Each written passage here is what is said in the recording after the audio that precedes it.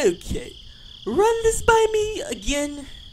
Of course, we're gonna sneak into the annual Free Eggnog Festival. Genius plan, right?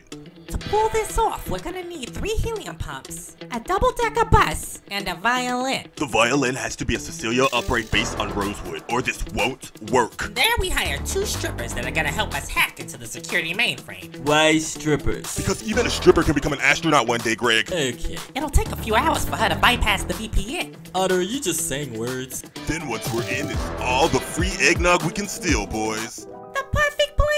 The perfect plan! So what do you think, Greg? You win? I have so many questions, but I'm just going to ask the most important one. You're trying to break into where again? The annual Free Eggnog Festival. And, and, and are you hearing what you're saying? Like, are you listening to yourself, guys? What are we supposed to be listening to? Yeah, like the only thing I hear is that we all sound strangely alike.